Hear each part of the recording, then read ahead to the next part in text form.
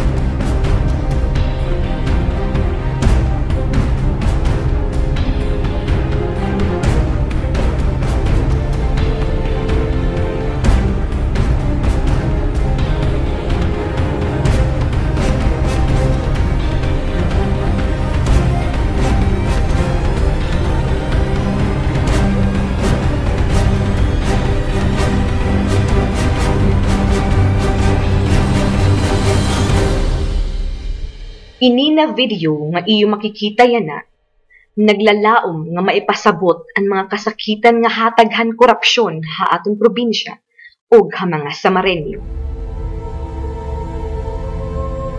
Ha mga naglabay nga tuig, masisiring na nakatagamtam ang Samar hin maupay na pagbabago. Pagbabago nga mas naiagum unta kita kung tuhay ang pamamaagi han mga aada ha pwesto.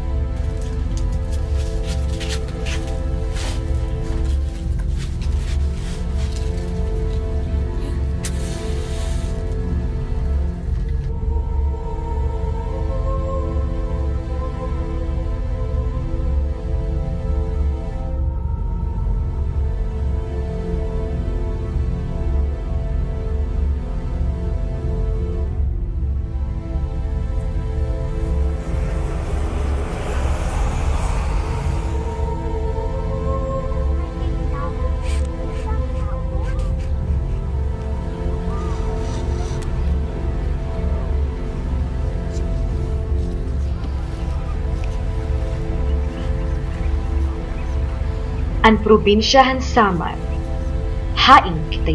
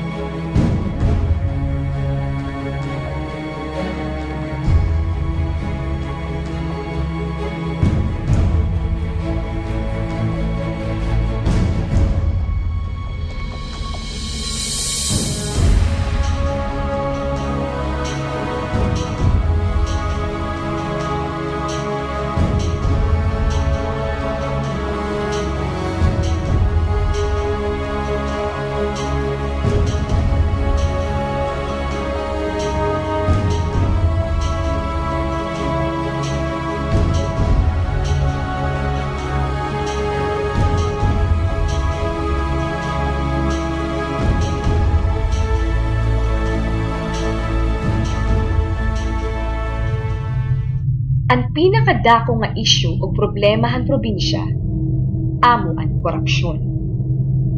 Pagmalgastar o dirita mga paggamit han mga pondo han probinsya han Samar. Haparte ang infrastruktura, ang siya ini ang mga kamutangan ha probinsya. Dirita mga pag-alutaga o prioridad han pondo hit gobyerno probinsya.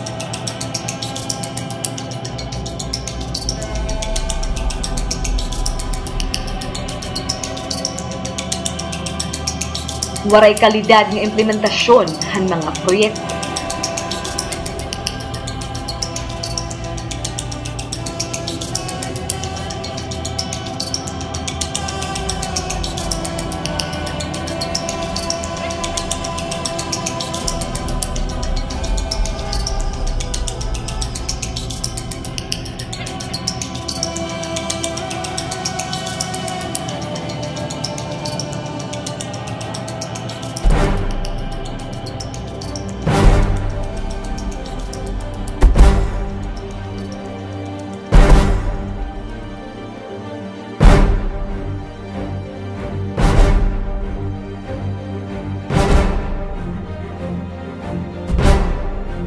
Diri matapos-tapos sa mga proyekto nga naabot hindi ra katulad.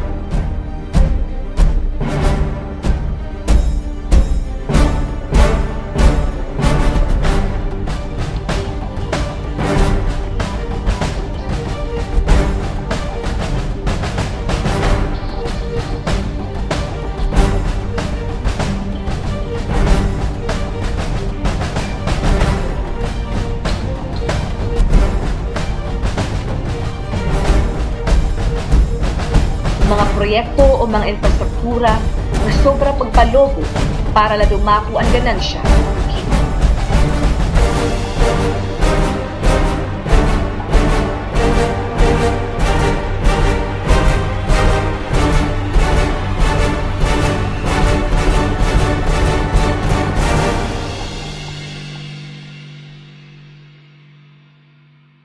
Barangay Kantongtong, ang gindiklara nga gastos, 978,000 pesos.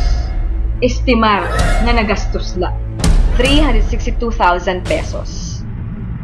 Blanca Aurora Tumugong Road, ang gindiklara nga gastos, 2,900,000 pesos. Estimar nga nagastos la, 407,000 pesos. Covered Court Ha Imelda Park, ang gindiklara nga gastos, 10 million pesos. Estimar nga nagastos lang, 4,480,000 pesos. Pansementohan mga kalsada, Lokilukon Kalapirun, ang gindiklara gastos, 10 million pesos. Estimar nga nagastos lang, 3,868,000 pesos. Gandara Road, ang gindiklara gastos, 30 million pesos. Estimar nga nagastos lang, 11,604,000 pesos. Santa Rita Road, ang gindiklara nga gastos, 30 million pesos. Estimar nga nagastos lang, 11,604,000 pesos. Ini nga mga kahimtang nagpapasabot han panginahanglan han probinsya hin mas matadong na sistema parte han mga proyekto ha infrastruktura. Siring pa, kinikita na diri pagbulig ha tao ituyo, kundi pagpasangilan, pagpakita, nga may daginihimo o magamit nga rason kung nahingangain pondo.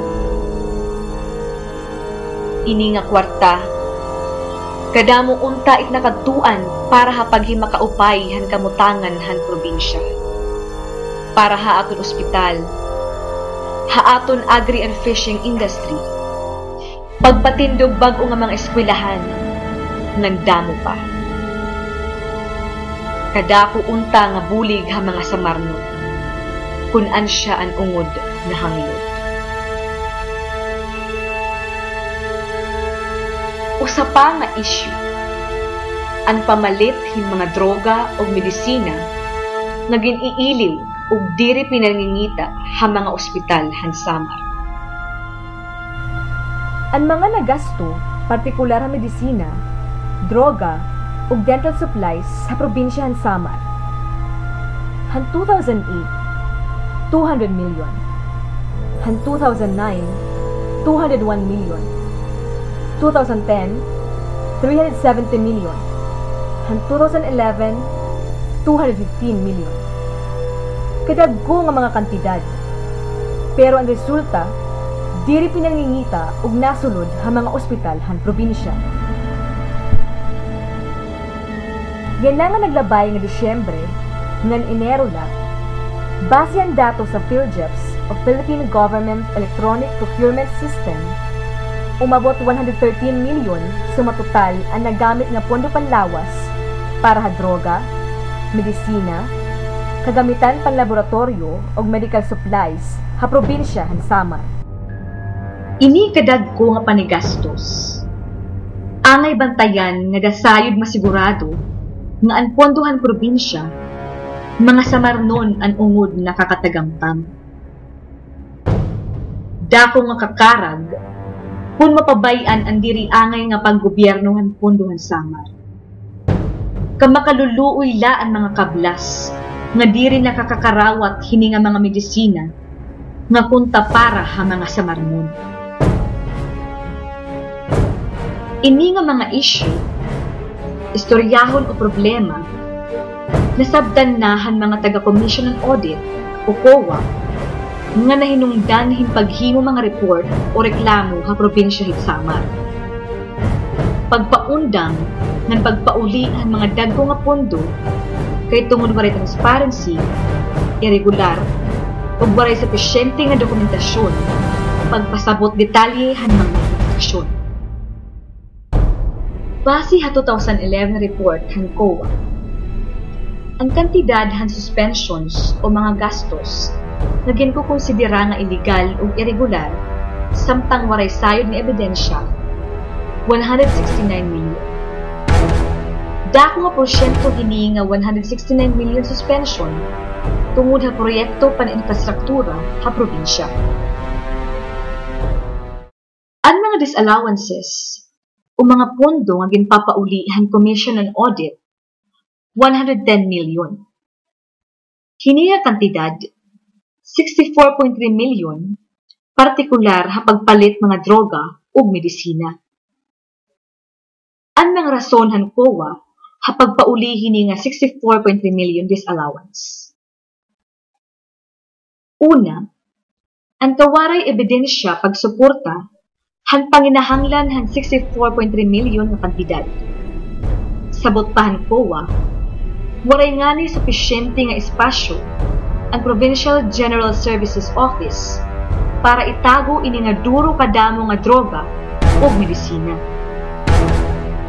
Ikaduha, irregular nga paggamit ng droga o medisina, pinaagi ha medical missions.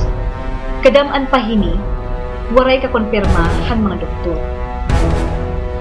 Ginpasabot liwat, nga kulang dokumento pagsuporta na may nahinabo ng medical missions. Ebidensya han panginahanglan han panhatag dagong kantidad han droga o medisina. Kadako unta nga bulig ha mga igkasi sa marmon. Kung ini nga mga medisina ha aton mga ospital, kin patagamta. Ini nga mga issue, diri pa nagpapasabot han kabugpusan han problema, han korupsyon ha probinsya. Kahalarong pa kung karon ang hinungdanan ini nga mga problema.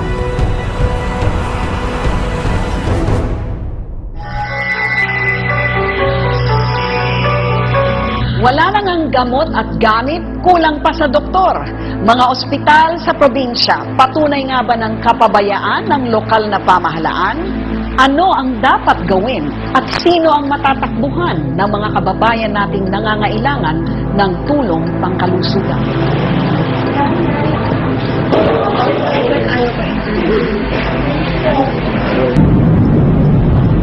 Siyam na oras kaming pabalik-balik sa Katbalogan hanggang sa Kalbayog para tingnan ang tunay na kalagayan ng mga pampublikong ospital. Ang misyon ng Giorno ngayong linggo. Sa Samar kami napadpa dahil sa dami ng naririnig naming reklamong pangkalusugan na hindi raw natutugunan sa mga ospital. Ilang doktor ang unang pumayag na magbigay sa amin ng panayam pero pagdating sa ospital, nagbabago ang kanilang isip. Naintindihan ko agad kung bakit. Medical services sa province of Sama. Sabi ko it's crisis talaga. Actually, sa identified ang Samar kasama. Naalarma kami sa nahagip naming takbo ng usapan ng mismong mga taga-ospital. Malaking pundo ng province. Palaging 10 million pesos yung budget dyan sa Kabayog District Hospital.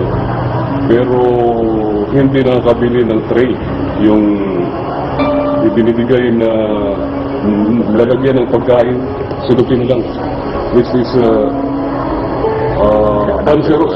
Yung chemical, pag mainit, yung chemical ng silupin, pag mainit, mahagos sa pagkain, cancerous yun. Tapos uh, yung isang itlog, pinaghatian pa yan sa tatlong pasyente. Tatlo, isang itlog sa sperm. Tapos well, kailangan magdala ka ng sariling ventilador para hindi ka mainitan. An siya ini ang kamakaluluoy nga estado han sistema han healthcare ha aton probinsya. Masasabdan naton ini pinaagi han pag-downgrade o pagpaubos han lebelo han aton mga ospital sugad ang report ng DOH o Department of Health Evaluation Team.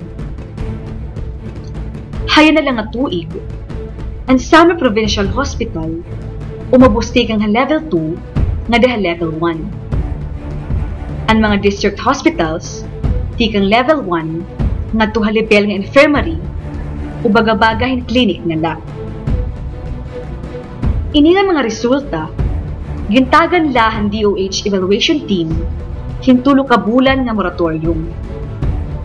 Ang karuyag ipasabot, ang paglimitar han pwede maihatag nga serbisyo tungod hini nga mga kakulangan. Kakulangan ng mga doktor, nurse, surgeons, kadaan, ruba, di rin nakaangayan nga ekipahe sa hospital. Laboratory department, nga kulang medical supplies para makapag-examine ang mga pasyente. Operating room nga kulang tama nga pasilidad para makapag-opera. Kakulangan medisina ng medical supplies. Ultimo gapas, plaster ng alcohol ang pasyente pa ang mapat. Ang problema diri ha pundo. Kundi ha pag-uutaga o pagbahin-bahin ng aton kadako nga pundo panlawas. Ang urusahon nanhihingain man ini nga mga pundo. Kay ano, nagtitikahitaas it aton gastos, pero ang estado nga na aton healthcare facilities, mas nagtitika grabila. Kung sugad hini ang estado han aton mga ospital, mapakain man kita. Kadamo nga mga istorya hiunong han mga ikasi sa Marnol, hanggang papabalihin hatakloban kay tungod kulang ang pasilidad ng doktor an aton unta dapat tapuran na maghatag kadagmitan nga pagtambal. Diri ta matapuran labi na gudha oras nga kinahanglan. Kamakaharulop hini nga sitwasyon. Labi na para ha mga kablas nga diri nakakatagamtam han supesyente nga bulig tungod han diri maupay nga paggamit han pondo panlawas han aton probinsya. Ini nga pag-antos diri unta mahitatabo kung pagbulig an ira tinungdan. Tipakain an aton probinsya.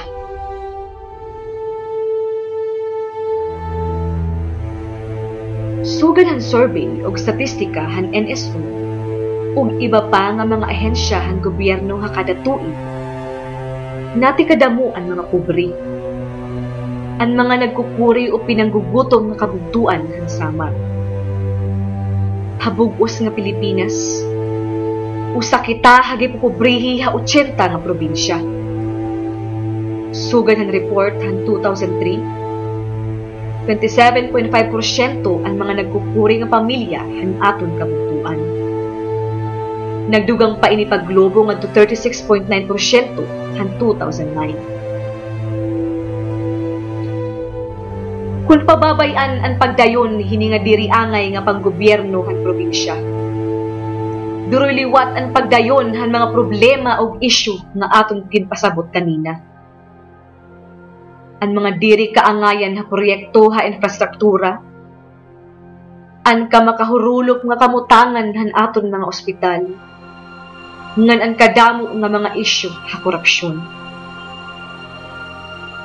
Initanan, waray katapusan kun an mga samar nun diri maaksyon.